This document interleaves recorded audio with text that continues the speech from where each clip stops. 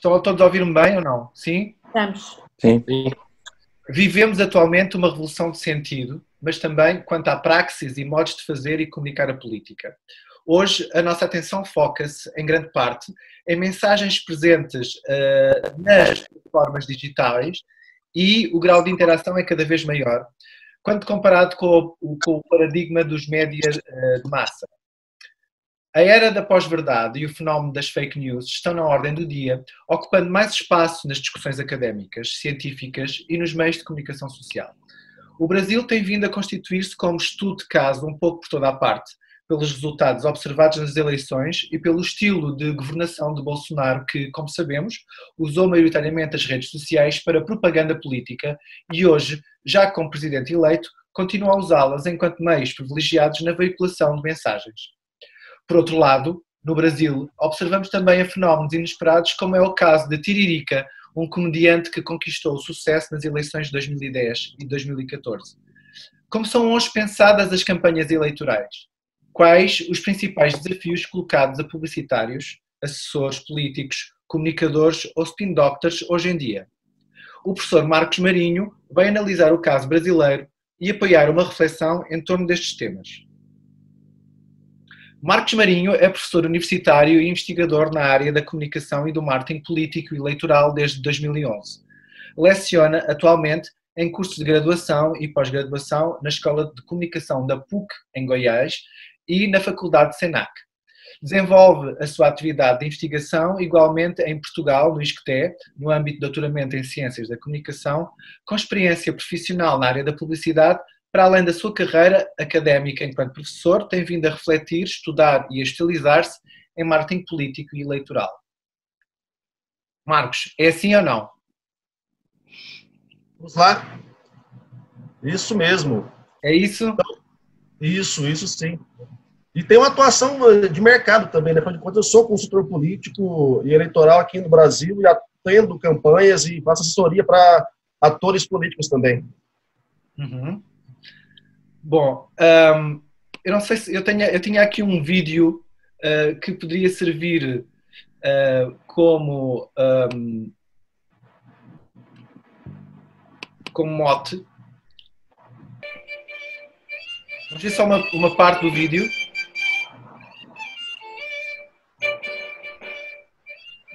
A campanha eleitoral de 2018 redefiniu o conceito de entrar para a história. Pulverizou completamente Estão a ouvir ou não? Político candidatos a tentar algum meio do caminho entre os extremos, todos se deram mal. A primeira eleição digital da nossa história. Entre 16 de agosto, quando 13 candidatos iniciaram sua caminhada para chegar à presidência da República, e 28 de outubro, quando Jair Bolsonaro foi eleito no segundo turno, houve mudança na composição de uma chapa, rejeição sendo mais importante que aprovação, facada em candidato marchas de mulheres nas ruas, uma onda de última hora que mudou o legislativo e muitas brigas virtuais e reais. Os memes, fakes ou não, de procedência questionável ou não, se espalharam no WhatsApp. Teve ídolo internacional opinando sobre a política brasileira.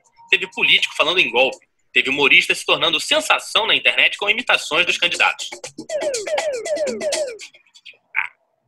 Nesta eleição, teve até gente querendo reescrever a história.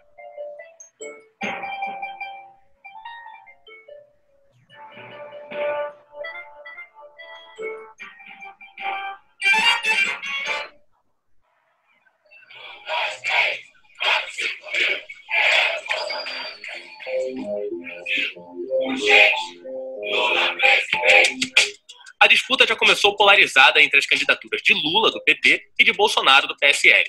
Preso desde abril, Lula acabou barrado de concorrer pela lei da ficha limpa, abrindo caminho para que seu vice, o ex-prefeito de São Paulo, Fernando Haddad, seguisse na tentativa de defender o legado do PT. Nós vamos ganhar essa eleição pelo Lula, pelo PT. Naturalmente, o desgaste do partido após uma série de escândalos de corrupção foi um dos principais pontos abordados por adversários. Já Bolsonaro se fiou na insatisfação na política tradicional e se apresentou como novidade. Sozinho, com poucos políticos do meu lado e amigos, eu sou um patinho feio nessa história. Deputado federal há sete mandatos, capitão do Exército na reserva há 30 anos, chamado de por seus admiradores, ele ficou conhecido por declarações em que atacava gays, movimentos sociais, índios, quilombolas, ideias feministas e os direitos humanos. não vai ser com flores que vamos diminuir a violência. E fica bem claro uma coisa: armas não geram violência e flores não garantem a paz. Algumas falas de Bolsonaro geraram reações. Outro candidato, Ciro Gomes, do PDT, por exemplo, o chamou de nazista. Ele não é culpado de nada, ele é só vítima desse nazista filho da puta que Surgiu o movimento Ele Não e milhares de mulheres foram às ruas contra a sua candidatura.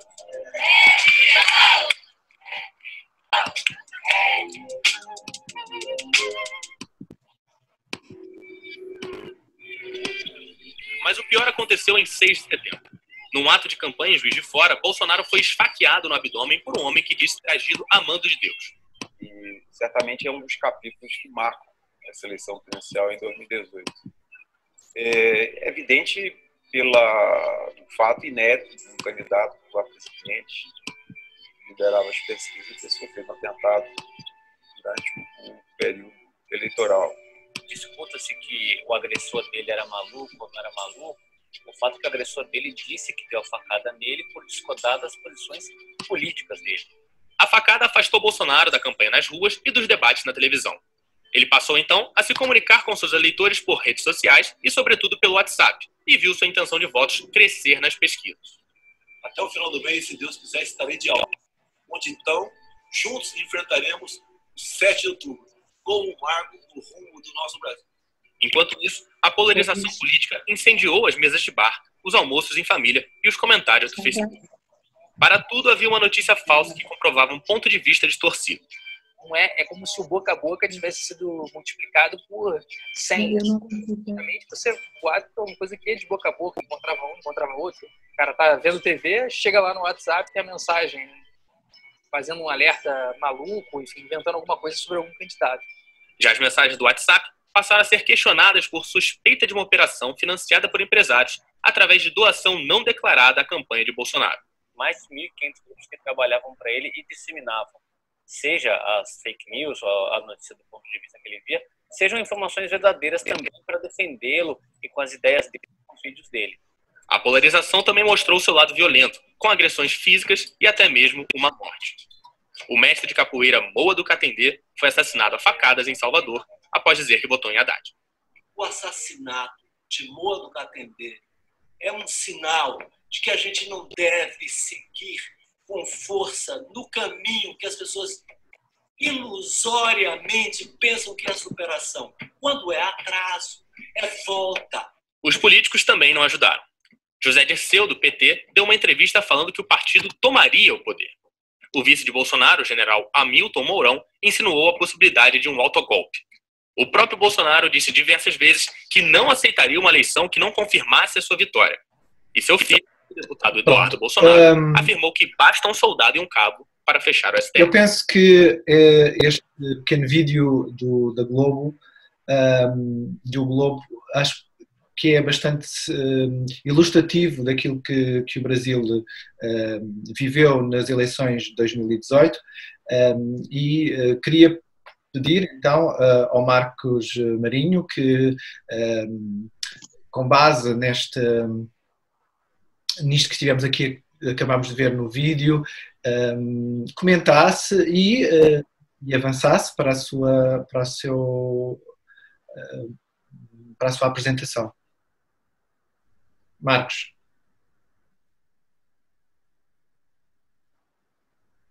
primeira satisfação ter participar com vocês dessa, dessa conferência e trazer um pouco do ponto de vista de quem está vivendo aqui no fronte de batalha. Né? A gente está, digamos que desde 2018, quando eu voltei de Portugal, em julho, uh, a cada dia é um espanto diferente, a cada dia é uma quebra de paradigma diferente, a cada dia a gente é obrigado a revisitar autores, revisitar teorias, porque de fato é, não estávamos preparados para nada disso. É,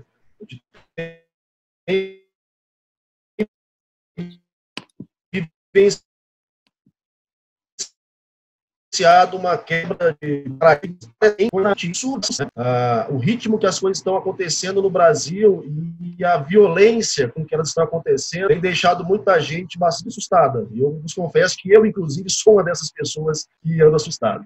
Mas veja bem, uh, o vídeo trouxe muita coisa bacana, já vai me adiantar muita coisa da apresentação que eu montei aqui.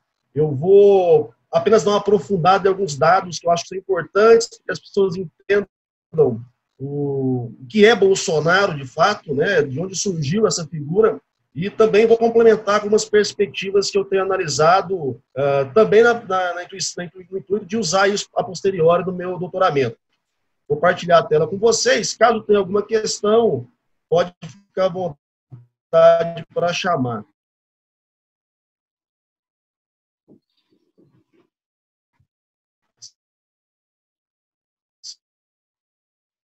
Certo? Outra coisa que sabe eu, eu retomo. Bom, então, só otimizando aqui nossa apresentação, já foi feita pelo Nuno, né? Eu sou professor na PUC Goiás desde 2012, dou aula nas instituições, aqui também dou aula na faculdade do SENAC, e nas redes sociais podem me achar em todas elas pela, pelo nick arroba mmarinhomkt. Bom, é, a primeira coisa importante para a gente entender Bolsonaro e o que o Bolsonaro tem feito no Brasil e com o Brasil é percebemos o contexto 2020.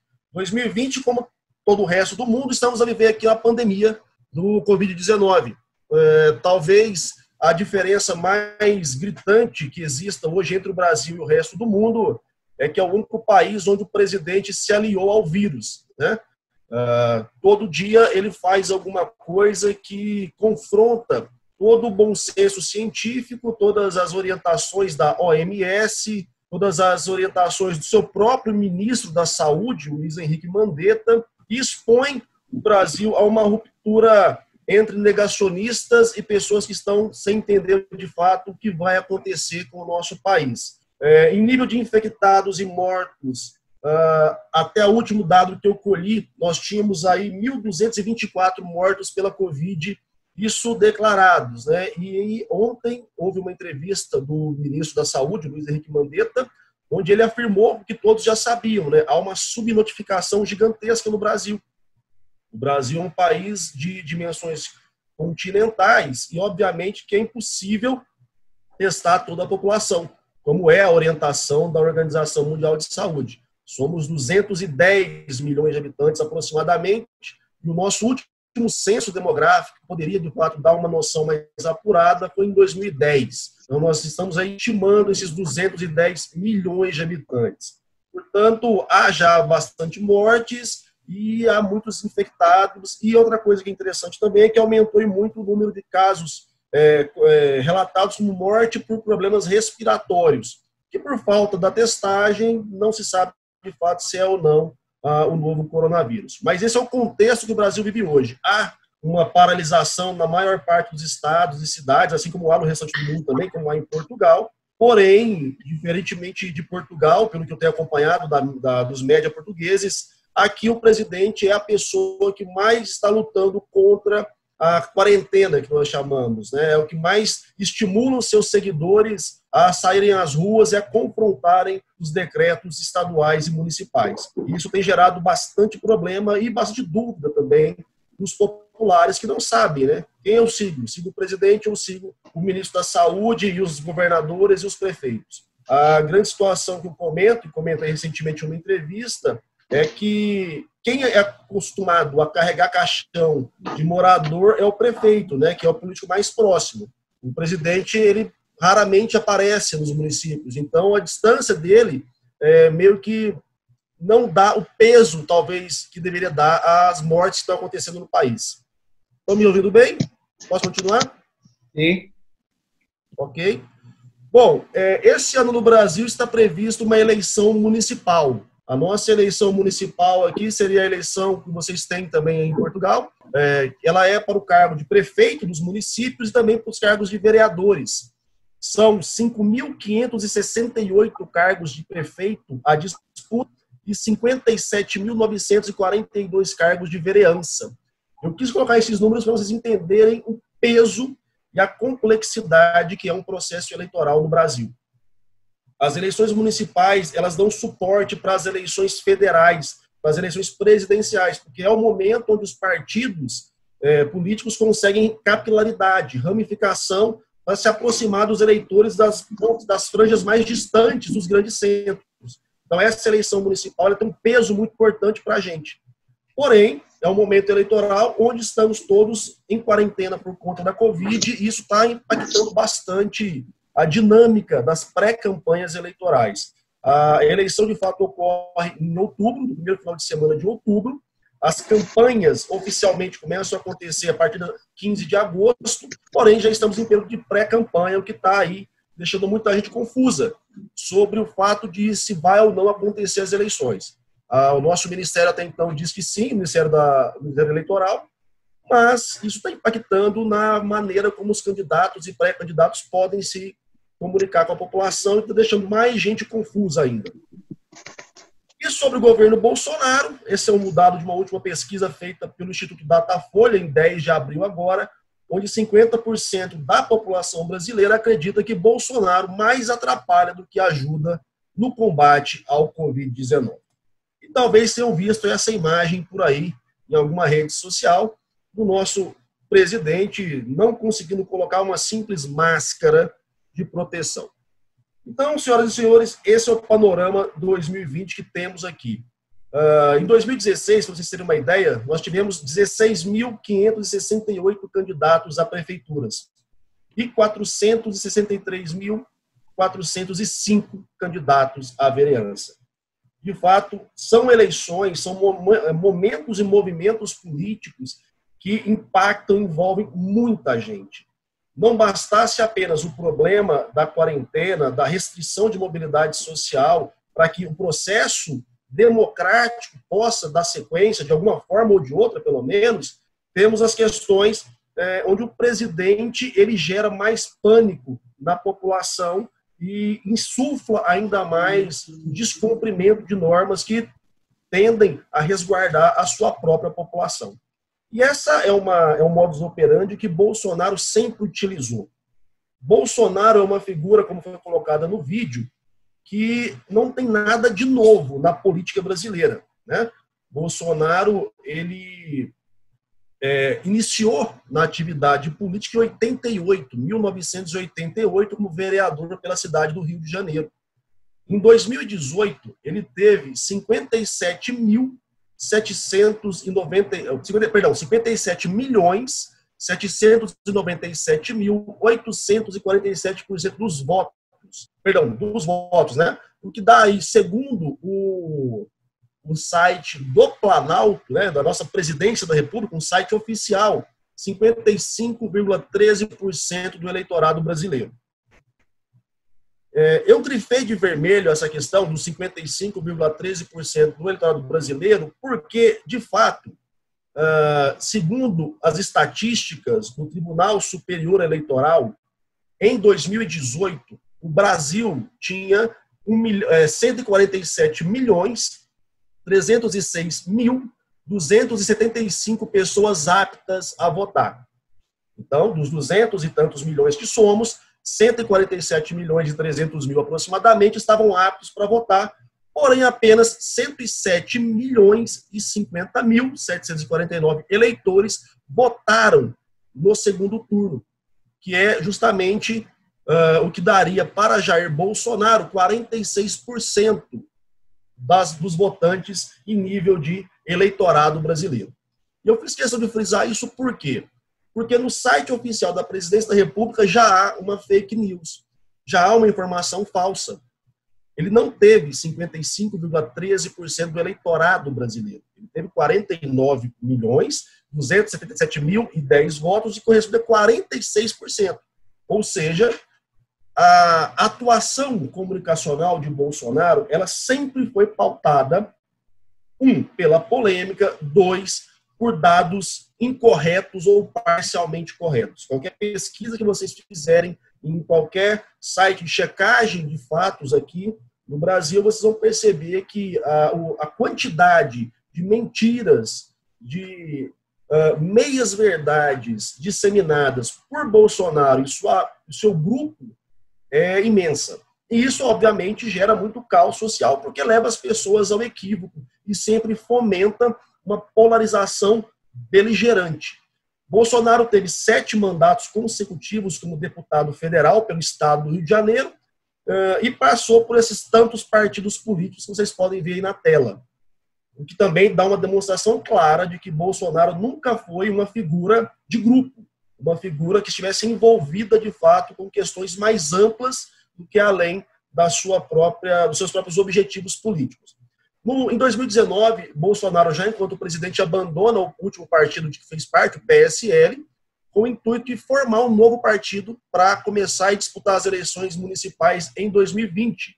Só que, obviamente, não deu tempo, há todo um processo burocrático para que isso aconteça, e já foi vetada a possibilidade de participação do partido do presidente nesse momento. Então, ele está sem partido atualmente. O que também deixa claro que, pensando aí na realpolitik, uh, um mandatário sem partido ele já está de uma maneira bastante explícita é, enfraquecido, né? Porque ele não tem um background de apoio natural, que seriam os seus próprios partidários, seus correligionários. Bolsonaro, desde que assume a presidência, ele causou várias celeumas é, dentro do Congresso Nacional, ele causou uma ruptura dentro do partido que o acolheu para a disputa de 2018, e isso fez com que Bolsonaro perdesse é, bastante apoio, até mesmo dentro do grupo que, no primeiro momento, foi ao seu encontro para lhe dar suporte. Além disso, senhoras e senhores, Bolsonaro possui três filhos que também têm carreira política. É, ele os chama de 01, 02 e 03. O 01 é o senador Flávio Bolsonaro, ele é atual senador pelo estado do Rio de Janeiro. Ele tem envolvimento aí em algumas investigações em relação a milícias e questões de fraude de salário de, de funcionários do seu gabinete. O 02 é o vereador pela cidade do Rio de Janeiro, Carlos Bolsonaro. Ele está licenciado atualmente, porque ele passa a maior parte do tempo dele em Brasília, é, em algum tipo de atuação não oficial dentro do governo do pai. E o 03, que é o deputado federal Eduardo Bolsonaro, é, que bateu um recorde de votação para o cargo aqui no Brasil, mais de 2 milhões de votos pelo estado de São Paulo. Eduardo Bolsonaro, que até o ano passado postulava um cargo de embaixador nos Estados Unidos.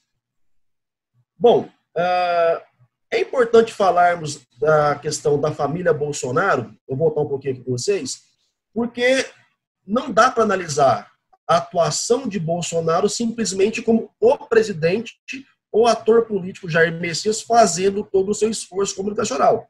É, ele tem já em nível familiar, uma base de apoio com voto, com participação na seara política de muitos anos, já todos os filhos já estão há bastante tempo é, exercendo cargos políticos, e isso dá a ele é, é uma mobilidade de grupo. Por mais que ele não tenha apoio extrafamiliar mais alargado, o seu núcleo familiar em si já é uma potência de comunicação, já consegue arregimentar e mobilizar muita gente.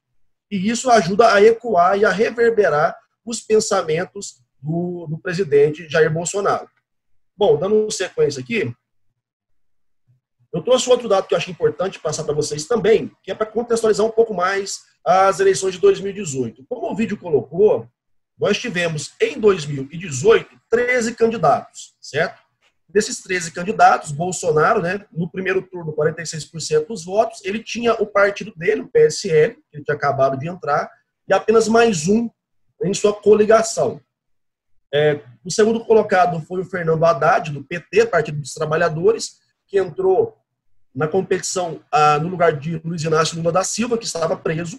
O PT, em sua coligação, tinha dois partidos. Depois tínhamos Ciro Gomes, Geraldo Alckmin e outros candidatos que também tinham já uma presença bastante ah, ah, incisiva no cenário político brasileiro.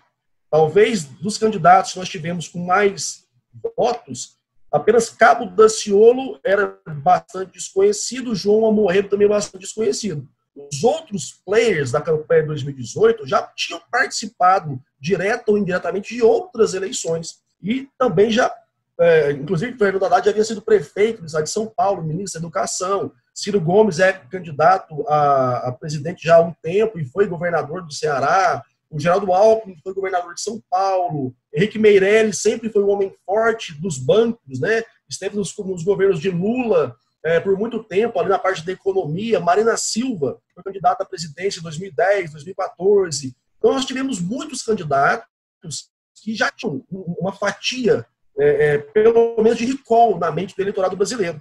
No entanto, o que pegou de verdade foi uh, uh, um tipo de comunicação que até então não aparecia no radar de muita gente.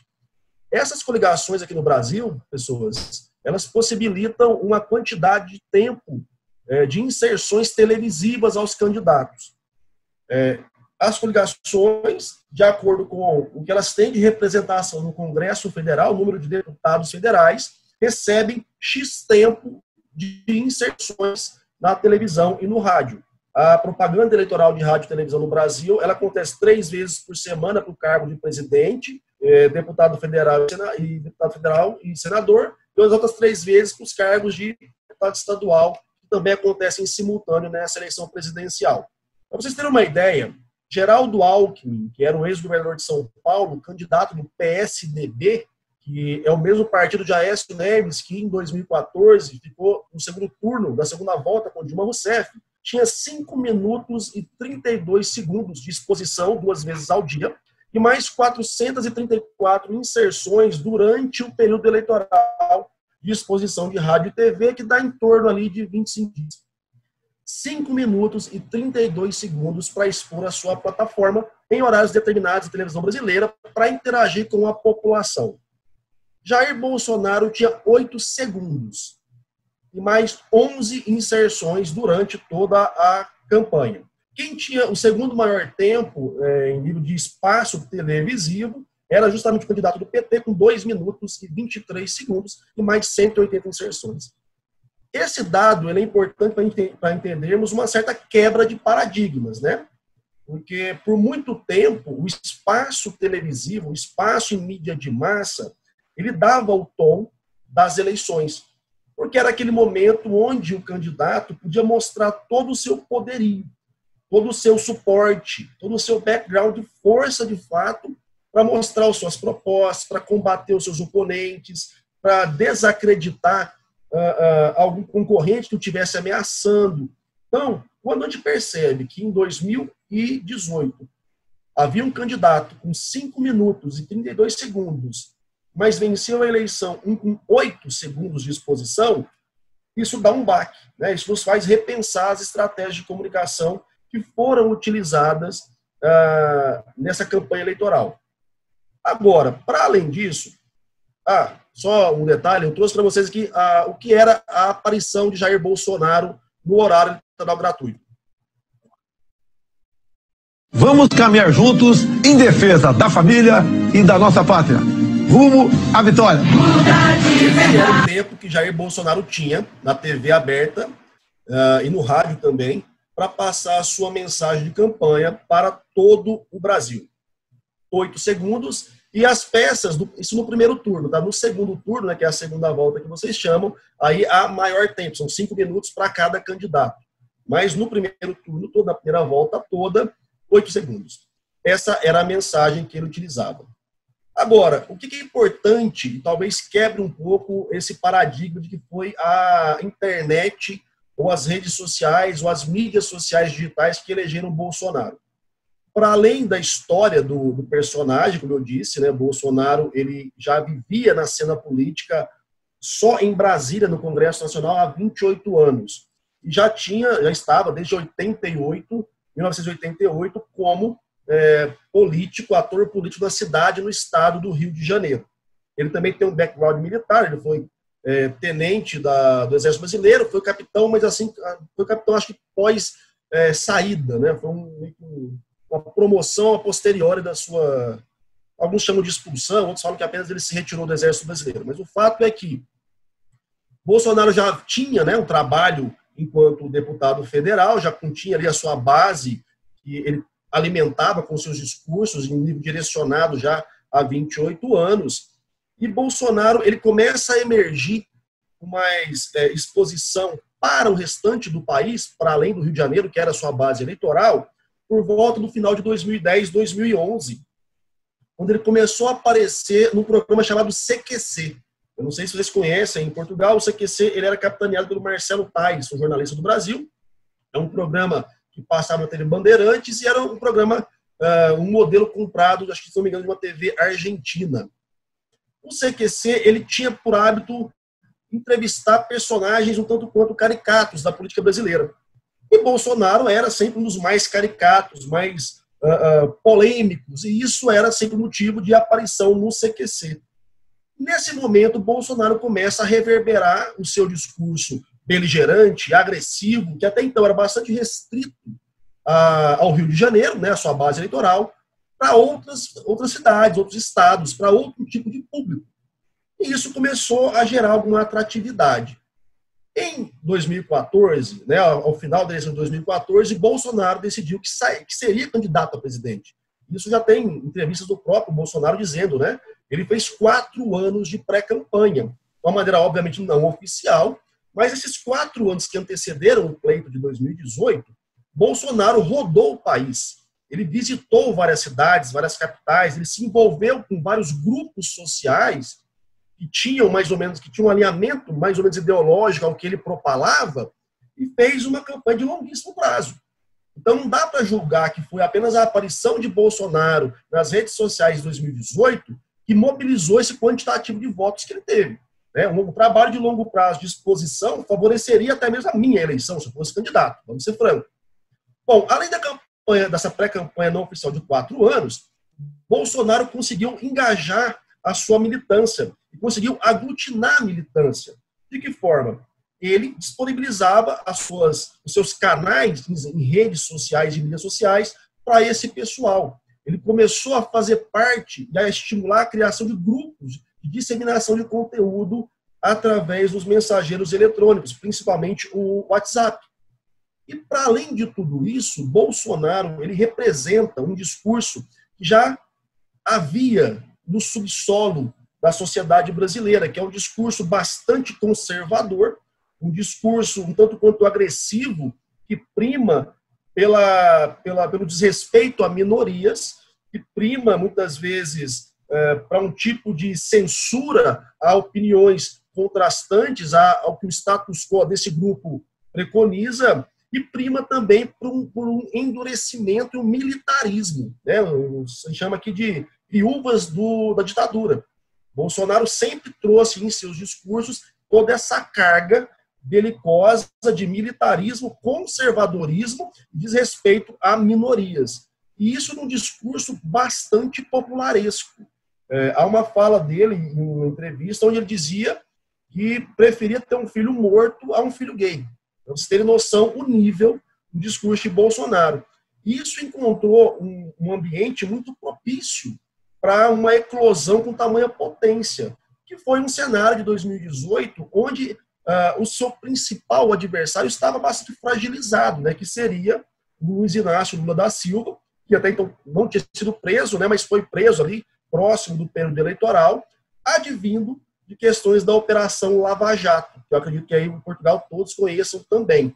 A Operação Lava Jato criou um cenário tão tumultuado na política brasileira e teve uma exposição midiática que foi tão negativa para os atores políticos brasileiros que isso gerou um, um antagonismo não entre Lula, esquerda e direita, mas entre quem as pessoas identificavam enquanto políticos e quem elas não identificavam enquanto políticos. E nesse cenário todo, emerge um antipetismo extremamente radical, que foi muito bem cooptado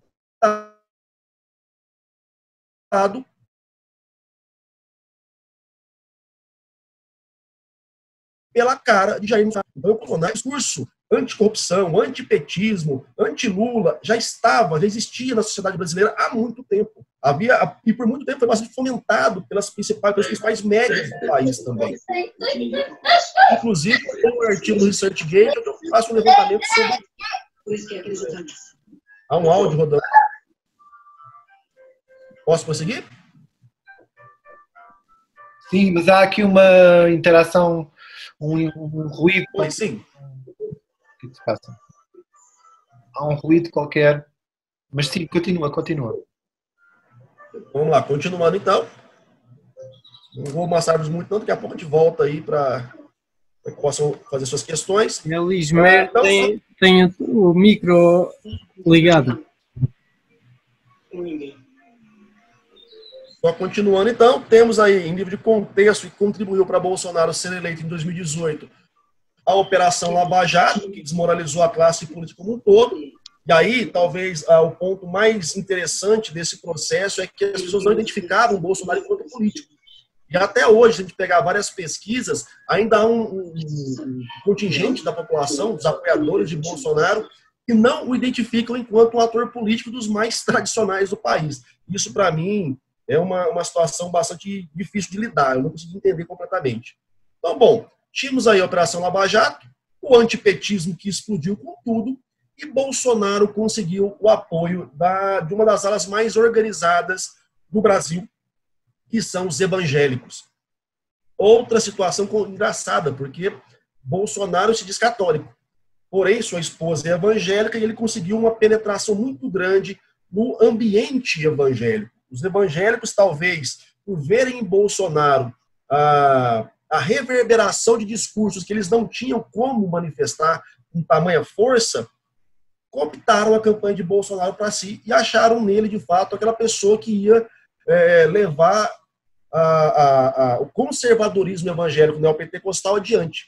Então, quando Bolsonaro se dizia contra os gays, contra Bolsonaro vinha falar sobre é, ser contra uma coisa que eles inventaram no Brasil chamada ideologia de gênero, mas inventaram, isso virou um mote muito forte. Bolsonaro vem falar contra kit gay nas escolas, contra as ideologias de esquerda do PT, contra o comunismo que vai destruir o mundo isso encontrou muito eco no ambiente evangélico. Quando Bolsonaro vem com seu discurso, Deus acima de tudo, Brasil acima de todos, quando Bolsonaro usa enquanto slogan de campanha um versículo bíblico, isso fez com que uma grande parcela dos evangélicos aderissem à campanha de Bolsonaro. E aí nós temos um fato interessante, né, pessoal? Porque os evangélicos no Brasil, eles funcionam muito em sistema celular. Há um, um, uma multiplicidade muito grande de denominações, mas praticamente todas funcionam no sistema de células, de grupos de vida, grupos de oração, grupos de apoio, que são bastante consolidados em nível comunicacional através do WhatsApp. Então, nós temos aí um primeiro elemento, que mais adiante eu vou comentar de novo, que favoreceu bastante o discurso bolsonarista, que é os grupos de WhatsApp dos grupos evangélicos aqui do Brasil. Bom, uh, vamos lá. Agora, o que foi decisivo de fato para a eleição de Bolsonaro? Esses slides anteriores eu, digo, eu, eu encaro como foi favorável. Decisivo, a campanha online, como ele tinha oito segundos de mídia tradicional, ele teve que migrar toda a sua força para o ambiente digital, para a web, então ele tinha uh, muito forte a sua página no Facebook, que veio sendo construída né, ao longo dos quatro anos de pré-campanha, como eu falei, uh, e também os seus grupos de WhatsApp. Além disso, Bolsonaro ele sempre foi muito contrário aos médias tradicionais, ele sempre demonizou muito o jornalismo, os jornalistas e as empresas jornalísticas. Então, ele adotou uma postura de não querer participar é, é, dos espaços tradicionais da comunicação política eleitoral, que são as entrevistas, os debates, e se concentrou onde ele próprio controlava a narrativa dos fatos, no seu canal de, de, de Facebook, em vídeos que ele postava também no YouTube e em outras mídias, e principalmente naquilo que ele podia reverberar através do WhatsApp. Por quê? Conteúdo extremamente direcionado para os grupos que o suportavam, possibilidade de mobilização e estimulação à replicação desse conteúdo, e também a possibilidade de você veicular várias fake news sem que sequer outros grupos sociais tomassem conta daquilo. Então você tem aí um ambiente que, para a comunicação utilizada por Bolsonaro no período eleitoral e ainda hoje, foi extremamente salutar para a vitória. Ele conseguiu manter o controle da narrativa que ele criou para consolidar a sua base de apoio, a sua base eleitoral. Que, não sei até que ponto vocês acompanharam as eleições de 2018, não são é, aqueles 46% dos votantes nele no segundo turno. É, é, bem menos. Bolsonaro, desde aquela época até hoje, ele tem por volta de 30%, um pouco menos, de apoio. A gente chama aqui no Brasil de bolsonarista raiz. Aquele de fato que votou em Bolsonaro no primeiro turno e votaria no segundo turno e votará no Bolsonaro até o fim da vida. O restante dos votos de Bolsonaro, que de fato contribuiu para a sua vitória, foram os votos antipetistas. Né, o voto aqui no Brasil em segundo turno, segunda volta, ele é mais um voto contrário a alguém do que em favor de alguém. Então, Bolsonaro, o que dá a eleição em 2018 foi, de fato, o antipetismo. quem não queria ver o PT de forma alguma se viu meio que obrigado a votar é, em Jair Bolsonaro, e isso deu a ele a maioria dos votos válidos. Então, para que a gente tenha clareza aqui, a campanha online foi importante porque ele controlou a narrativa e a possibilidade de disseminar conteúdo sem verificação no WhatsApp. Outro ponto que pode ser interessante também para analisar esse fenômeno é que no Brasil uh, nós não temos ainda bastante totalmente horizontalizado o acesso à internet, à web. Há um bom contingente de brasileiros que não tem acesso à web. Porém, todo mundo que tem algum tipo de acesso tem acesso ao WhatsApp. Porque o WhatsApp ele faz parte do pacote gratuito de dados da maioria das operadoras. Então, você não consome os dados que você paga no seu plano. Como a nossa população é bastante carente, a maior parte dos, dos brasileiros tem planos pré-pagos, que são planos com baixíssima possibilidade de navegação na web. Mas, como o WhatsApp é gratuito, eles se comunicam muito e transmitem muita coisa através do WhatsApp. E aí é o problema, né? Porque o WhatsApp você recebe muita coisa, mas você não tem conta de checar nada, porque você não pode se clicar num link, de repente o seu pacote de dados expirou e você não tem como acessar aquele link.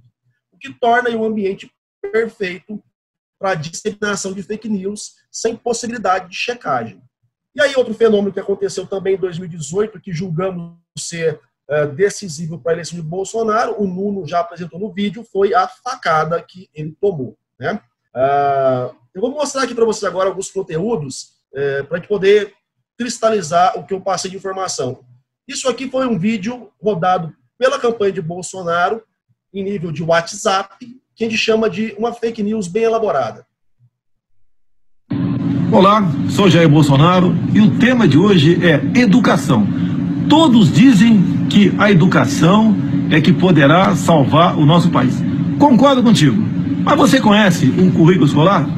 Estou aqui com uma menina, logicamente, maravilhosa, minha filha, Laura, com 5 anos de idade. E muitos de vocês nos questionam, né? Por que o parlamentar, deputado, não bota tua filha em escola pública? Eu te respondo. Eu não boto porque o currículo escolar não é o daquele do meu tempo, dos anos 60 e 70, período tão criticado pela esquerda e pela mídia brasileira. Naquele tempo você tinha educação de qualidade. Agora, e hoje em dia, o que consta o currículo escolar? Lógico, para eu poder explanar sobre isso aqui, eu vou tirar minha filha desse ambiente. Que esse ambiente que eu vou mostrar para vocês agora é o que se encontra em especial nas bibliotecas públicas do Brasil. Laura, tchau. Tchau. Tchau, vai lá. O jornalista, ou melhor, o historiador Marco Antônio Villa, nessa semana, fez uma matéria no jornal Globo denunciando o que é o currículo escolar do PT. Ou seja, o que ele fala ali, eu venho falando desde 2010, quando descobri o famigerado kit gay nas escolas. E sempre falei, não é apenas o kit gay, é a questão ideológica, tão ou mais grave que a corrupção em nosso Brasil. Olha só, um dos livros que estão chegando nas bibliotecas das escolas públicas, para você que é pobre, escolas públicas, repito. Esse livro aqui, O Aparelho Sexual ECIA, um guia para crianças, entre outras coisas. Por exemplo, o menino pode gostar de, de, de outro menino? E uma menina pode gostar de outra menina? Tá na cara que para o historiador, né? Não o Vila, mas quem fez esse livro aqui, isso é normal. O Vila denuncia também questão que eu falo há algum tempo, o lixo, as mentiras e as omissões no tocante à história, geografia e até mesmo, acredite se quiser, matemática. Mas vamos lá. Continua nesse livro aqui. Todo ele é, um, é, um, é uma coletânea de absurdos que estimula precocemente as crianças a se interessarem por sexo. E no meu entender, isso é uma porta aberta para a pedofilia também. Olha aqui, ó. Transar como funciona? Enfia o dedo aqui. Ensina pro teu filho de seis anos de idade, ou pra tua filha de seis anos, enfia o dedo aqui. Vou enfiar o dedo aqui. Enfia o dedo aqui. Olha o que aparece aqui. Lógico, cada menino vai enfiar um dedo, né? Maior ou menor ali. Agora, detalhe, pular de cá na outra folha. Enfia agora no outro lado. Aqui tem uma mulher, aqui uma menina. A gente vê que é uma menina. O órgão sexual dela aqui, um buraco, enfia lá. e manda ficar friccionando. Olá. Pessoal, esse primeiro vídeo, é, não sei quem acompanhou, ele já foi desmentido inúmeras vezes. Nunca existiu esse tal kit gay. Esse livro, inclusive, não era para crianças de seis anos, mas isso foi assim avassalador durante a campanha de 2018. Foi uma das fake news mais veiculadas, que mais tiveram acesso, mais comentadas, e que ainda hoje, mesmo tendo sido desmentido inúmeras vezes, em todos os canais da mídia tradicional, há quem defenda que houve de fato um kit gay, que havia um kit gay é, é, criado pelos governos petistas, e isso gerou toda uma comoção, principalmente nos grupos conservadores que apoiavam Bolsonaro. Essa segunda peça é uma peça muito bem feita em nível estético, também vinculada nos grupos de WhatsApp bolsonaristas, que aborda a questão da eleição de uma maneira jocosa, mas que deixa uma mensagem bastante clara para quem é simpatizante de Bolsonaro. Bom dia. Bom dia. Aqui é a farmácia de manipulação Datafolha? Sim, isso mesmo, manipulação Datafolha. Então, eu preciso que vocês manipulem o resultado para mim. Tá com a prescrição aí? Sim, tá aqui, ó. Deixa eu dar uma olhada aqui então.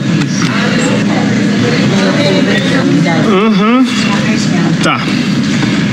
Hum, essa composição não está mais sendo permitida pelo CRM. Conselho Regional de Medicina? Não, não, de manipulação mesmo. O problema é que vocês estão pedindo aqui um percentual muito alto de uma toxina com alto índice de rejeição. Deixa eu ver então. Aqui, ó. ó 35% de luisinaxto de corruptina. Isso na primeira dose. Para o segundo turno, quer dizer, é, para a segunda dose, está é, tá sendo solicitado para aumentar ainda para 45%, cara. Isso aí é completamente inviável, tá? Essa toxina, ela tá com uma rejeição de quase 60%. A gente, infelizmente, não pode é, se responsabilizar por uma manipulação desse nível. A gente até manipula, mas tem limite também. Quanto custaria? Não, não se trata de valores, amigo. É uma manipulação altamente perigosa. Pode levar à morte de milhares de pessoas. Além disso, olha só, tem outras toxinas aqui, ó. Coronelato de cirogomida e memamerdol de geralquimina. As duas são toxinas praticamente inofensivas nessa, nessa composição, né? É, mas como já tem os 35% de luisinaxto de corruptina, fica, fica perigoso. Tá, tá, mas o resto tá bom? Cara, olha, tem aqui ainda 8% de globostol de Hulk lucianídrico, tá? É, isso aqui é placebo. Tem um monte de gente que acha que ajuda em alguma coisa, mas não ajuda nada, nada, nada. E, e além disso é caro. Ó, também tem outro problema aqui, vocês utilizaram um componente vencido já. Aqui, ó, 11% de obtusina de silvamarinol. Esse componente já perdeu o princípio ativo dele há uns 4 anos atrás, tá? Hoje em dia ele não serve mais para nada, na verdade ele só dá enjoo e ânsia de vômito, né? Isso porque é, é um componente gelatinoso e inconsistente, né? Ai, meu Deus, o que teria que ser feito então? Olha, para ficar mais realista, a gente teria teria que aumentar bastante a concentração desse antídoto aqui, ó, que vocês pediram para deixar só com 16%. Só que hoje em dia já está todo mundo usando ele, é tiro e queda. Ele é meio amargo, mas resolve, né? Qual? O nodestrato de bolsomitol. Não, não, não, não, não. Deus me livre, cara. Esse aí nós queremos diminuir ainda mais. Se possível, cara, tira ele da receita. Tira fora. Impossível. Não, não dá mais para diminuir a concentração do bolsomitol, senão a manipulação perde toda a credibilidade. Na verdade, assim como tá, já tá completamente sem credibilidade. Não, cara, não adianta. Tem que ficar do jeito que tá aí. Impossível. Peraí, peraí, peraí. O seu exame ou a senhora tá guardando ainda?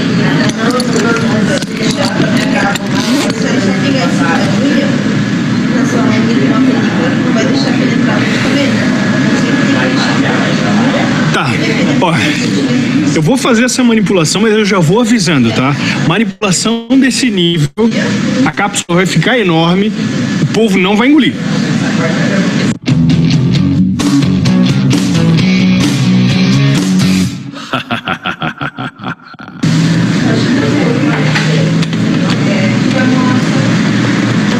Supositório? O senhor pretende administrar o medicamento com cuspe ou sem cuspe? Com cuspe. Com cuspe. Eu tenho ideal para o senhor, é gazelato de genwilitol. Hum. Então, pessoal, isso aí foi um material feito, teoricamente, por apoiadores do, do presidente, né? Do, então candidato Jair Bolsonaro. E durante todo o processo, a, piada, a jocosidade que acontecia, havia ali uma, uma brincadeira com o nome dos concorrentes né, de Bolsonaro nas eleições e também com o nome de João Willis e desmoralizando o estudo de pesquisa. Então, assim, isso foi um, um mote muito poderoso das campanhas bolsonaristas, né? dos grupos bolsonaristas, porque uma coisa que a gente teve dificuldade de mapear aqui no Brasil é que uh, não havia uma linha única de ação, não havia um núcleo central da campanha do Bolsonaro. Vários grupos que compraram cooptaram a campanha, obviamente que nos bastidores, articulados de alguma forma, promoveram e produziram muito material e muito conteúdo que foi disseminado de maneira uh, bastante ampla e sem possibilidade de rastreio. Né? A não sei que você fizesse parte de algum grupo desses, você nunca receberia esse material. E aí, falando ainda naquele vídeo que o próprio Bolsonaro já divulgou sobre o tal kit gay, tivemos esse outro material também veiculado por um apoiador do então presidente. Olha aqui, pessoal, olha esse livro aqui, ó. Aparelho Sexual e CIA. Eu tô aqui na livraria Saraiva do shopping, do shopping Pátio, em Olinda. Olha só que absurdo. O livro que o Bolsonaro denunciou aí, que mostrou no Jornal Nacional William Bonner, que a esquerda brasileira disse que esse livro não existia, tá aqui, ó. Já chegou na livraria Saraiva do Pátio Olinda. Deve estar tá em várias livrarias aqui, não só de Olinda, como do Recife, de outras cidades aí, ó. O absurdo que a ideologia do PT e dos partidos da esquerda querem que nossas crianças a partir de seis anos tenham acesso às escolas públicas brasileiras. Como eu disse, né, esse tipo de conteúdo viralizou. Uh, esse livro é um livro que existe, mas nunca foi comprado pelo MEC, nem era para crianças de seis anos de idade, mas isso, para quem é já uma massa um pouco acrítica e que apoiava os, as falas de Bolsonaro e a, a, a pujança ideológico-religiosa conservadora dele, caiu como uma luva. Como eu falei, teve o fato também do dia 6 de setembro de 2018, que mudou tudo, foi a facada. E aqui, nesse momento da facada, senhoras e senhores, tem um fato que a gente precisa considerar como talvez uh, um grande turning point do processo de comunicação de Bolsonaro. Bolsonaro, até então, de fato, ele tinha 8 segundos, 8 segundos de mídia aberta, tradicional, e toda uma base de campanha nas redes sociais digitais. Porém, a partir do momento que ele leva essa facada, Bolsonaro passa a figurar diariamente em toda a programação de todas as emissoras de comunicação do Brasil. Ou seja, ainda que não fazendo algum discurso político, a sua imagem política do homem, do mito que estava emergindo e tentou ser silenciado, passa a conviver com toda a sociedade brasileira quase que 24 horas por dia até as eleições. Então, essa facada que ele levou, e aí há várias teorias da conspiração, que não temos como entrar nela agora, é, de fato fez aí uma mudança bastante radical, talvez no que poderia ter acontecido nas eleições. Porque Bolsonaro, então, ele passa, além de contar com todo o seu suporte é, não oficial, com toda a sua atuação nas mídias da web, ele passa a reverberar todos os dias na maior parte das programações jornalísticas em todos os canais de televisão. O que, obviamente, auxilia na consolidação da sua imagem e no reforço da sua imagem. Nesse momento, a ala evangélica abraça com ainda mais fervor a campanha de Jair Bolsonaro, o que obviamente consolida as teorias mais malucas da conspiração, né? Que partidos de esquerda, que comunistas tentaram matar aquele que foi escolhido por Deus. E o fato de Bolsonaro ter sobrevivido dá a ele toda uma aura mítica e mística como sendo ele o próprio ungido do Senhor. Isso, para um discurso conservador religioso, caiu como uma luva. Então, esses são os pontos que eu considero como os preponderantes para a eleição de Bolsonaro. Caminhando para o final, vale lembrar que a campanha ele, ela teve várias cabeças, né, para além dos filhos de Bolsonaro. Olavo de Carvalho, esse senhor de óculos, é o orientador, sei lá, filosófico e espiritual deste grupo é uma das figuras talvez mais, na minha leitura, peço perdão à academia, abjetas que podem existir, mas que tem um, uma reverberação social grande aí nessas alas mais conspiracionistas. E o senhor Steve Bannon, que em Portugal creio que todos conhecem muito bem também, que estava por trás da campanha de Donald Trump e também por trás do Brexit, todos sabemos disso. É, Steve Bannon, que já teve vários momentos, reuniões aí com o 03, filho de Bolsonaro, o Eduardo Bolsonaro, que também já é sabido que participou com algumas orientações de todo esse processo é, da linha de comunicação.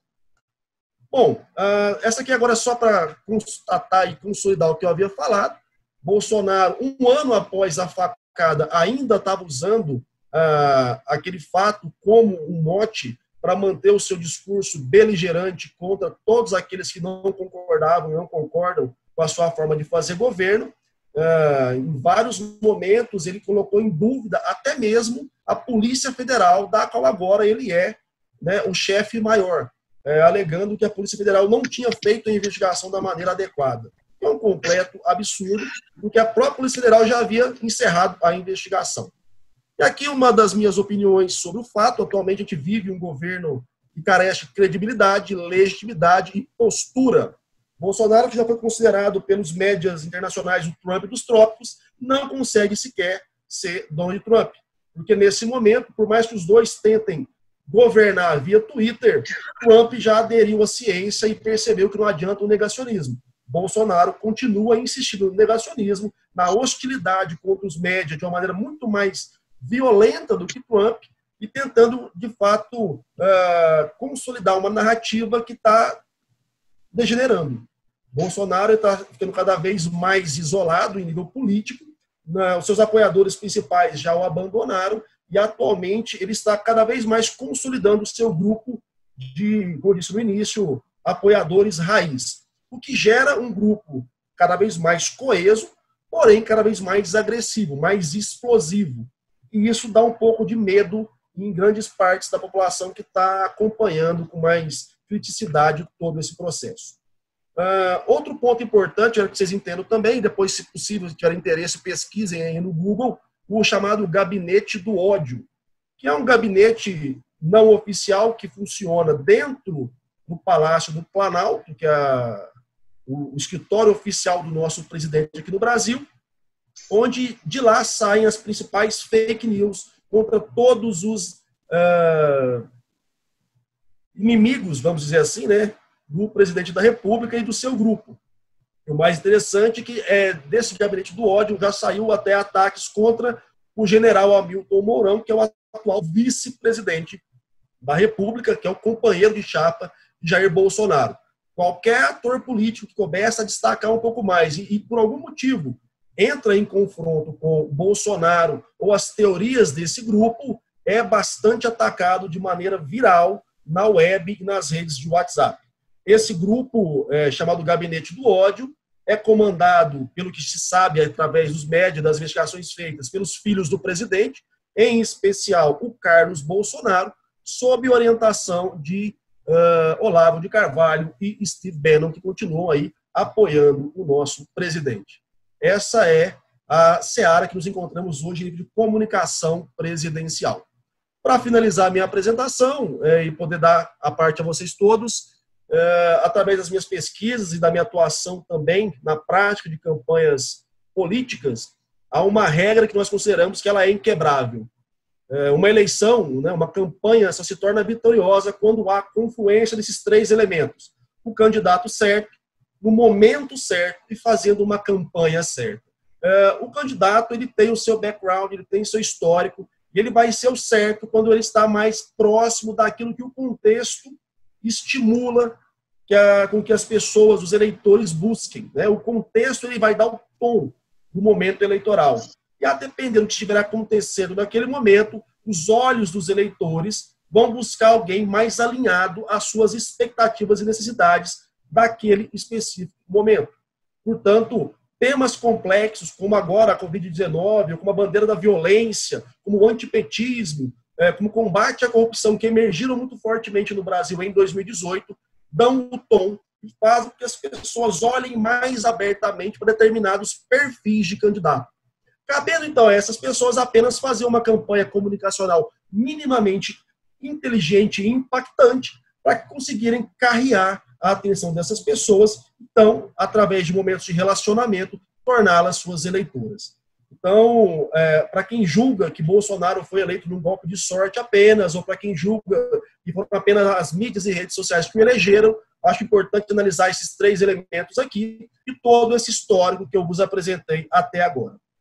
Bom, uh, em nível de apresentação que eu tinha preparado, é, é isso.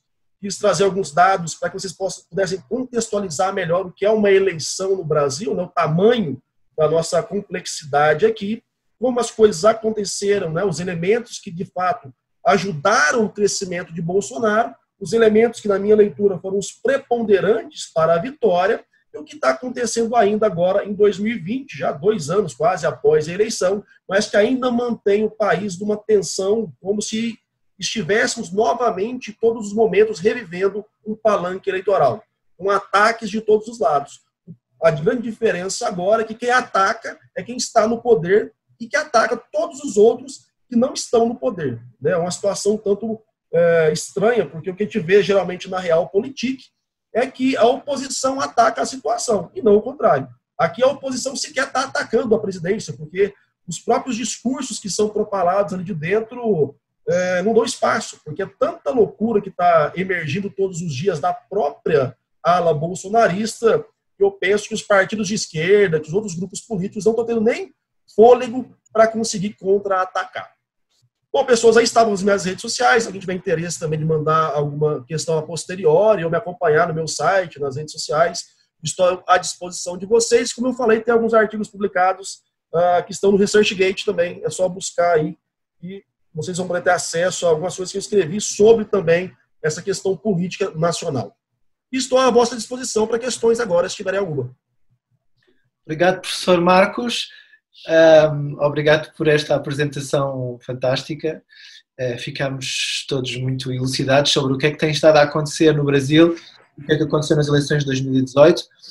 Um, agora uh, abrimos agora aqui um, as inscrições para a vossa participação através do bate-papo. Podem colocar o vosso nome para entrarem numa lista um, por ordem uh, de chegada Uh, tenho aqui já algumas participações por parte do aluno Miguel Andrade, que coloca uma questão sobre a facada. Não sei, vou-lhe abrir o microfone para que ele faça a sua questão.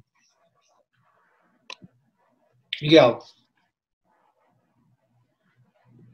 Boa tarde a todos os presentes, obrigado pela apresentação, professor. Eh, eu gostava de saber, não sei se, estou, se estão a ouvir. Sim. Eu gostava de perceber de que forma é que o momento, o, o ato da facada foi preponderante para a vitória de Bolsonaro na eleição. Se foi também utilizado, o professor falou um bocado sobre isso e apresentou o facto dele passar a ter uma atividade 24 horas sobre 24 horas junto da população, mas eu gostava de saber se o próprio utilizou esse momento na sua própria campanha eh, para fazer também contra-campanha eh, a outros políticos ou outros partidos, digamos que inimigos. Sim, Miguel, é, ótima pergunta. É, o presidente, príncipe do seu grupo, usou também bastante desse expediente para contra-atacar, ou melhor, para atacar os seus adversários, principalmente os partidos de esquerda. Uh, buscaram no histórico do atacante do presidente, o Adélio Bispo, uma pessoa que tem desequilíbrio mental, que já foi constatado é, em nível psiquiátrico, inclusive hoje ele foi é, analisado como inimputável, porque ele tem um desequilíbrio mental de fato. Ele havia sido, por um, alguns anos, bem, acho que seis, sete anos antes do ataque, manteve uma filiação breve ao PSOL, que é um partido de esquerda. Então, o grupo bolsonarista usou muito desse ato para julgar que os partidos de esquerda queriam matar Bolsonaro. Então, para além da exposição que ele teve naquele papel fragilizado de vítima de uma violência, eles ainda conseguiram construir uma narrativa que culpabilizava partidos de esquerda pelo ataque. Ainda que foi extremamente amplamente comprovado que ele não tinha nenhuma ligação direta com o pessoal há muitos e muitos anos, nunca fez parte de nada do partido, e também não era membro de nenhum outro partido de esquerda. Ele simplesmente era uma pessoa desequilibrada. Ele tinha problemas mentais, isso foi comprovado cientificamente depois. Mas também foi utilizado, isso rodou em muitas e muitas fake news, em vários grupos de WhatsApp, é, teorias conspiratórias das mais malucas, assim. Inclusive achando que ele estava aliado a pessoas dos mais estranhos grupos que você possa imaginar. Né? Isso é uma coisa que os brasileiros são para criar teorias da conspiração, é criativos. Agora, foi tentado imputar aos partidos de esquerda a facada, foi e por grupos de apoio ao presidente. Há aqui uma outra questão, não sei, Miguel, se, se, se estás satisfeito com a resposta, se tens mais alguma questão estou satisfeito, acho que percebi e foi clara já na apresentação. Eu, a minha questão uh, era também se ele utilizou depois em propaganda política e se há, por exemplo, alguns exemplos disso, ou tenha, o professor tem conhecimento disso, uh, vídeos onde ele utiliza esses argumentos, folhetos, digamos. Sim, Miguel. Uh, há várias falas do presidente, inclusive na mídia oficial, onde ele retoma essas acusações, onde ele continua fazendo ilações a respeito do ataque que sofreu, inclusive na época da morte de Marielle Franco. Se você pesquisar nos médias brasileiros, há muitas falas dele, dos seus apoiadores, dizendo ou tentando insinuar que ele também foi vítima de uma violência e que não havia sido é, é, é, investigado da maneira correta, que é o momento onde ele colocava em dúvida a própria Polícia Federal, que já havia feito todo o inquérito, e ele, enquanto comandante maior da Polícia Federal brasileira. Então, uma situação bastante estranha. E também houve né, várias uh, uh, charges, várias fotos, várias imagens que circularam nas redes e mídias sociais com esse mote. Né? Obviamente, uh, essas mais escrachadas não viam muitas vezes dele. Agora, do próprio perfil do Bolsonaro e da, dos filhos dele no Twitter, houve muito material replicado insinuando isso, usando deste ataque para insinuar que haviam grupos conspiracionistas nos bastidores de Brasília que ainda queriam derrubar o presidente. Inclusive, tem uma, uma charge interessantíssima que foi feita por um suposto apoiador, é, que eu até usei ela em nível de é, é, comparação simbólica. O desenho feito do Bolsonaro apoiado num, num suporte de soro com o nosso nariz e com, sei lá, luzes por trás e pombas e tal, que é muito semelhante a uma, a uma, uma charge de Hitler também utilizada na época da Segunda Guerra Mundial. Eu acho que a pessoa que fez a arte não entendeu muito bem as referências que tinha usado. Mas é, é houve sim essa, essa difusão. Uh, há aqui mais uma questão da Lídia, da Lídia, que é aluna, a Lídia Mendes, que quer colocar também uma, uma questão ao professor. Lídia. Boa noite, boa noite, não sei se está-me a ouvir. Boa noite. Sim, sim. Eu estou sem imagem, eh, peço desculpa, não consegui ligar a câmara mas, eh, mas uh, ouvi perfeitamente. Obrigada por esta, por esta conferência e pelas explicações. A minha questão é, é, é esta. Uh, relativamente à exposição que, que fez, um, ehm, o Bolsonaro, uh, eleito nas eleições de 2018, estava ligado a um partido, ao PSL mais um, certo? Sim. Sim, pronto. Era, era ele, era, ele, já era, ele, já era, deputado federal e, e ganhou, as, e ganhou as eleições uh, aliado a este partido. Atualmente, e se bem que eu percebi, ele está sem partido. Certo? Uh, sendo assim, e perante esse facto, e aquilo que se tem, se tem visto uh, e tornado público atualmente uh, no seu, na sua posição política, estando ele cada vez mais agressivo e também isolado, qual é o seu futuro político? Perante esta nova conjuntura, atualmente, uh, uh, do Covid-19, e que, que, penso que talvez daqui a alguns meses também estará resolvido, esta, esta pandemia Ehm, esta pandemia, mas eh, daqui a dois, três anos, qual será o seu político?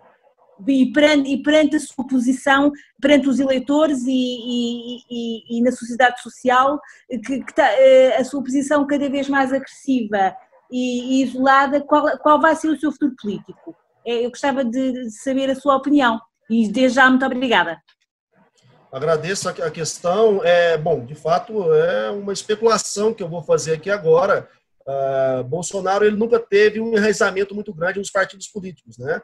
mesmo tendo exercido sete mandatos consecutivos enquanto deputado federal em Brasília, ele nunca ocupou nenhuma comissão, ele nunca ocupou um cargo de relevância no cenário político nacional.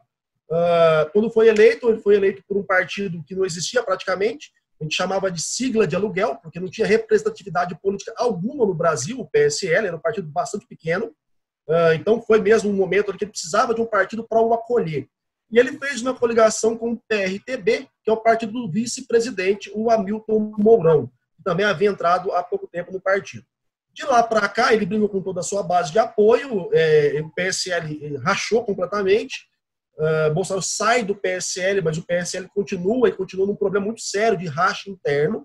Uh, Bolsonaro hoje ele não tem uma boa interlocução com o Congresso Nacional, com todos os outros partidos e nem com os presidentes dos poderes legislativos, né, do Congresso, da Câmara dos Deputados, o Rodrigo Maia, e do Senado Federal, Davi Alcolumbre, ele vive numa, numa sensação ou numa sintonia de agressividade com o Supremo Tribunal Federal, com os nossos ministros aqui do Brasil, é, constantemente levantando situações é, complexas e tendo muitas vezes também sendo ele sendo tolhido em suas ah, determinações ah, mais uh, agressivas, vamos dizer assim, por juízes do STF, e Bolsonaro hoje ele está consolidado dentro do seu grupo de apoiadores.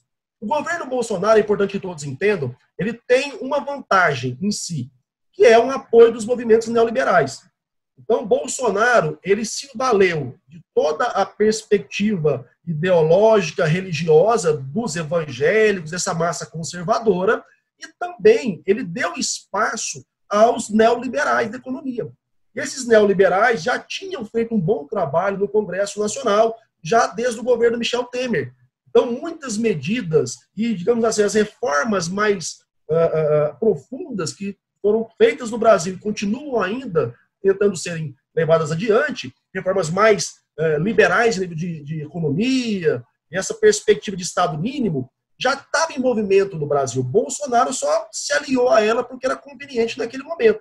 Então, Bolsonaro se mantém hoje enquanto um presidente que não tem muita pressão política nas ações do Congresso, o Congresso que muitas vezes tem tocado uma agenda a despeito de Bolsonaro, cabendo a ele chancelar ou não, ou ser derrubado e perder ainda mais capital político.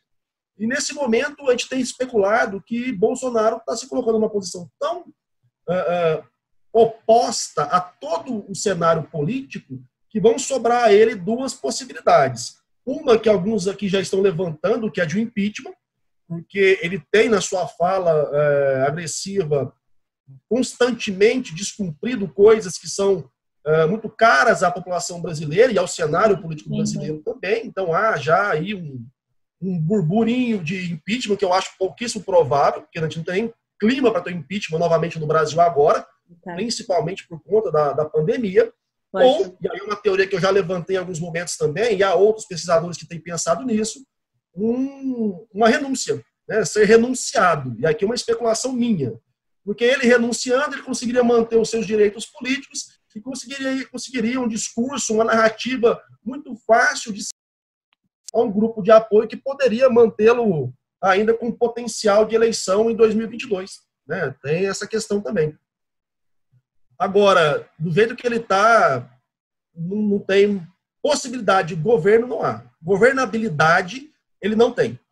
Ele está numa situação, agora vocês estão acompanhando em Portugal, onde ele tem um ministro da Saúde, que é muito mais relevante e importante que ele, que conta com muito mais apoio social que ele, e ele não tem coragem de demitir o gajo. Porque demitir o gajo agora é assumir qualquer problema que aconteça daqui por diante. Ou seja, ele está se enfraquecendo a cada dia e ao invés de tentar amenizar essa, essa, essa agressão, esse derretimento todo, ele dobra a aposta cotidianamente. O que, na minha leitura, o está empurrando é, ou para o impeachment ou para uma renúncia calculada para manter direitos políticos, manter uma narrativa consistente na perspectiva dos seus apoiadores, e aí um capital político ele pode continuar explorando do lado da oposição a tudo que está aí, que é o que ele tem feito até hoje no próprio governo. Obrigado, professor. Temos aqui mais uma questão de uma aluna, da Maria, agora desta vez é a Maria Ana Lopes, que quer colocar uma questão sobre uh, que reporta esta pandemia global do Covid-19. Mariana? Uh, olá, muito boa noite. Muito obrigada pela, pela apresentação, foi excelente. A minha pergunta acho que já foi um pouco respondida agora um, pelo professor, mas vou colocar na mesma. E tem a ver com uh, como é que o Bolsonaro vai conseguir justificar a sua falta de ação e o negacionismo face à pandemia do Covid uh, e os seus efeitos uh, no Brasil, junto da sociedade brasileira e dos seus apoiantes, principalmente evangélicos, etc., tendo em conta o progressivo aumento do número de infectados e, infelizmente, do número de mortos.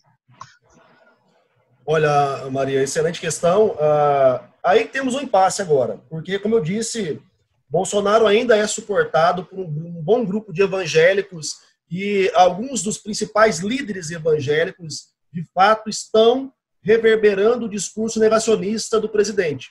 Estão se contrapondo ao isolamento é, preconizado pela Organização Mundial da Saúde e também pelos governadores e prefeitos do país. Isso está gerando um embate muito grande. Bolsonaro optou em ir por qual caminho? Bater na tecla de que essa, esse confinamento vai gerar muito desemprego. E o desemprego vai gerar caos social, e o caos social vai gerar violência. Coisas que o brasileiro tem bastante medo.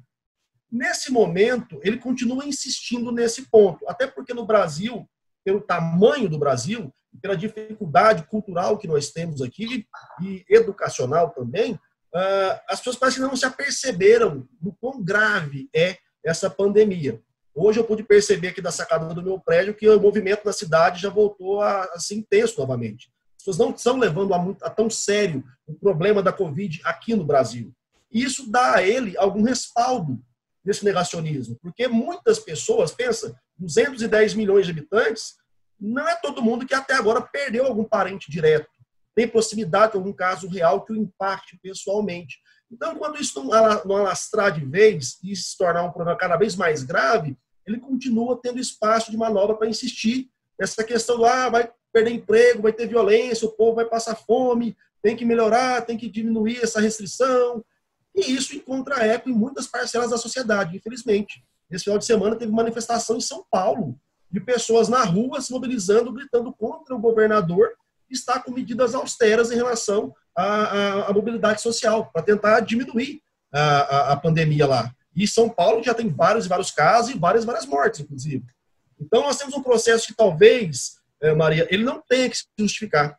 Porque ou ele, como eu falei, vai se manter aliado aos negacionistas, e infelizmente os negacionistas vão ser negacionistas até a morte, vão sempre culpar alguém, vão achar que a culpa é do ministro da Saúde, que não fez, não fez algo além que poderia ter feito. Bolsonaro também ele está com o discurso da cloroquina e da hidroxicloroquina, são medicamentos que não têm comprovação científica para tratamento da Covid, mas algumas pessoas acham que podem ser utilizadas, e aí ele está insistindo nisso, ao arrepio de toda a orientação da Organização Mundial da Saúde, do Ministério da Saúde, e isso cria alguns ganchos narrativos que ele pode utilizar depois. Ah, morreu muita gente porque não quiseram usar o remédio que eu falei. Olha que ele não entende nada de medicina. Ah, tem muita gente sem dinheiro e passando fome porque não quiseram liberar o povo para trabalhar como eu falei. Então, para o grupo que o suporta, que o dá apoio, que é o grupo mais radical, mais negacionista, mais uh, ligado às mitologias religiosas, ele vai continuar sendo o que ele é, o mito. A pessoa que é mal compreendida, a pessoa que todo mundo, no mundo inteiro, só age para tentar tirar do poder um poder que foi conferido pelo próprio Deus.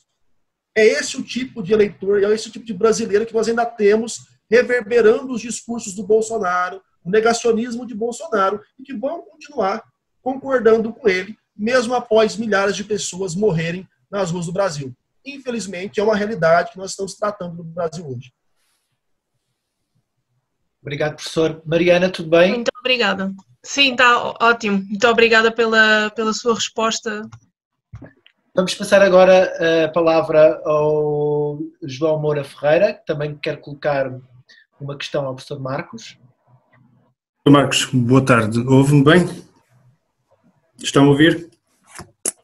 Boa tarde. Está-me está a ouvir? Sim, sim, sim, sim, João. Está a ouvir? Sim, sim. sim, sim ah, ok, Marcos, professor. Obrigado, muito obrigado. Ora bem, o, o Presidente Bolsonaro, infelizmente, fez algumas afirmações, eh, enfim, me parecem despropositadas, nomeadamente a questão da gripezinha. Contudo, eh, vi há pouco tempo uma notícia que também me pareceu significativa, nomeadamente que algumas dessas afirmações que ele fazia publicamente estão neste momento a ser, de alguma maneira, eh, como é que eu posso dizer, substituídas por uma voz mais, eh, mais pacífica e mais inteligente, creio que se trata do General Mourão. É verdade? Há alguma tentativa, por assim dizer, de lhe retirar esse protagonismo que, que não está a ser bom para ninguém e pôr uma voz mais, mais tranquila a comunicar com a população e com o povo?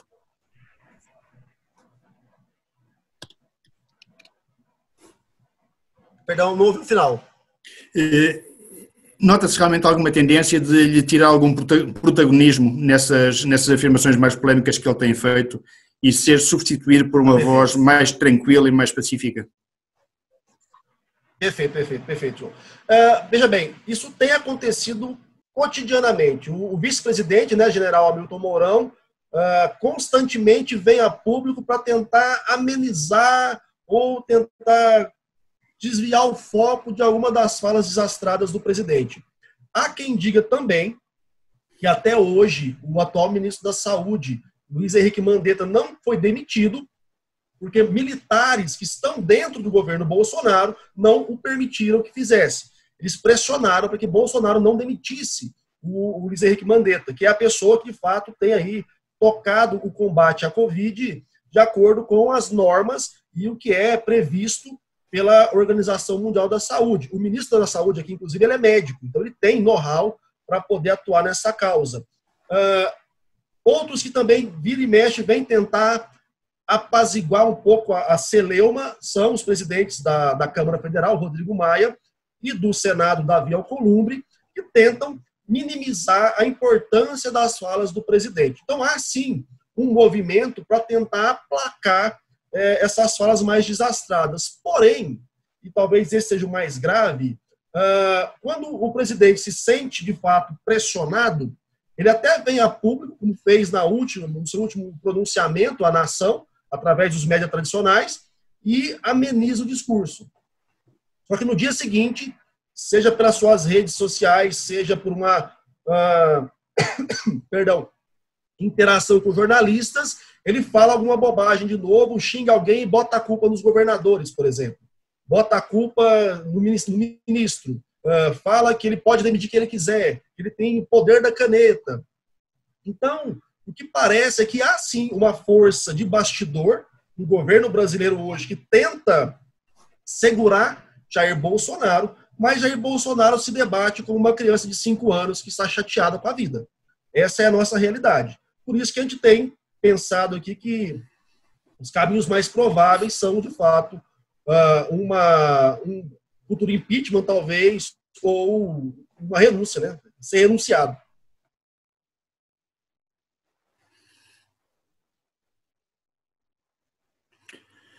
Respondi? Sim, sim, sim. sim. O, o presidente, do presidente Bolsonaro tem outros paralelos. O presidente Trump tem um, está a ter um comportamento semelhante também e Boris Johnson, antes de ser internado, também o tinha. E é possível, isto, haja esperança que eles, de alguma maneira, eh, moderem o seu, enfim, as afirmações que têm feito, mas eu apostava mais que mal eles tenham alguma margenzinha, quando estas coisas abrandarem um pouco, ele vai se livrar de todas as pessoas que lhe fizeram frente, a começar pelos ministros da Saúde. Sim, sim. Uh, assim que ele tiver condição, eu também acho que ele vai fazer isso, como já tem feito várias vezes. Até hoje, esse um ano e pouco de governo Bolsonaro, uh, todos os ministros que tiveram algum protagonismo, a não ser Sérgio Moro, que é o atual ministro da Justiça, e que atualmente está bastante sumido, vamos ser sinceros, é, foram defenestrados. Né? Então você teve um, um, general que era ministro do Bolsonaro que foi demitido. É, sempre que alguém se destaca, sempre que alguém é, vai de encontro aí ao que é dito pelo presidente ou pelos filhos do presidente, essa pessoa é demitida. No caso do, do Mandetta agora na saúde, é porque realmente Bolsonaro não achou ainda o espaço para demiti-lo. Porém, na semana passada, dois outros ministros de Bolsonaro, o Onix Lorenzoni e o Osmar Terra. Isso teve uma gravação dos dois que foi veiculada aqui pelos médias, que estavam confabulando para demitir Mandetta, o ministro da Saúde. Estavam buscando artifícios para que o presidente pudesse demiti-lo. Então, a, o cenário dos bastidores da política brasileira hoje é dos mais tenebrosos possíveis. É, de fato, ele dá aí baile em qualquer roteirista de qualquer seriado da Netflix nessa área da política. Muito obrigado, professor. Obrigado, obrigado, João.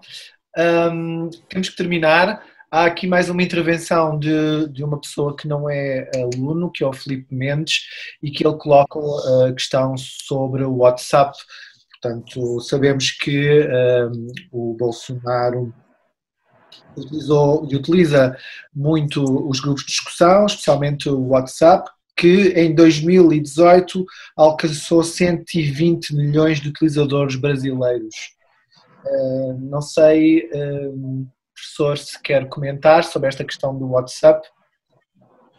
Uh, então, o WhatsApp ele é a ferramenta de primeira hora né, desses grupos. Como eu falei, ele ganhou muito, muita, ela ganhou muita relevância por conta da sua capitalidade.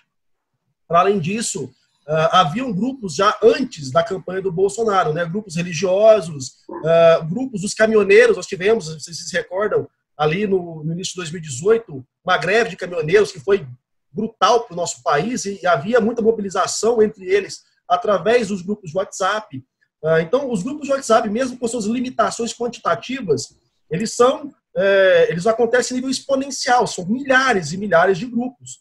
E também listas de transmissão, que já não tem tanta limitação. Mas o mais importante é que há sempre pessoas que mobilizam esses grupos, né? Em qualquer situação, em qualquer grupo de WhatsApp, há aquelas pessoas que são os mais preponderantes na divulgação e na comunicação. E uma grande maioria que apenas acompanha ah, ah, os conteúdos que são ali disseminados. E isso acontece em todo tipo de grupo, não é diferente nos grupos bolsonaristas. Uh, nos grupos que já existiam e foram introjetados ali algumas figuras para tentar mobilizar o debate, isso foi proliferando e até hoje é utilizado com grande maestria, eu posso dizer, é, por esse pessoal. Tanto que houve também uma investigação, agora ao final da, das eleições, de disparos de mensagens por robôs, né, disparos ilegais, nesses grupos de WhatsApp. Não sei se vocês chegaram a acompanhar isso aí na mídia portuguesa. Então, há ainda essa mobilização, é, esses grupos não pararam, tá? a eleição acabou, mas eles continuam existindo, continuam reverberando bastante fake news. Uh, eu tenho algumas fontes que fazem parte aí de, de, alguns grupos de maneira anônima, e eles já me falaram claramente, ó, continua ainda havendo muito disparo, muita fake news, e os grupos não pararam desde as eleições. Agora, o que está ficando claro para a gente é que isso dá conta daquele grupo mais condensado, né? Aquele pessoal que aderiu a Bolsonaro pelo antipetismo já está desistindo, já está percebendo que o caminho foi ruim. É, e isso, com essa atitude cada vez mais agressiva de Bolsonaro, e o que eu costumo falar aqui, ele cada vez mais prega para convertidos, né? Ele fala dentro de bolhas que estão ficando cada vez mais herméticas, mais condensadas, mais pressionadas. E isso vai gerar em algum momento alguma alguma explosão, né? alguma agressividade emerge quando há essa condensação de energia.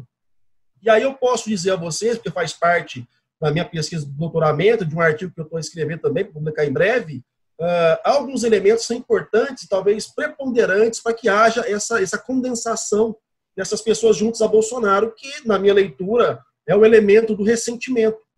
É, a gente consegue mapear, né, são grupos de pessoas extremamente ressentidas com algo na história delas, ou algo na história do país, talvez uma emergência de classes mais humildes em algum momento, que para algumas outras pessoas é, foi um absurdo, porque é uma questão classista forte ainda no Brasil. É, há pessoas que são ressentidas porque uh, governos petistas deram muita é, liberdade ou muito apoio a minorias que elas não concordam, como os homossexuais, como os grupos LGBT, por exemplo, como negros.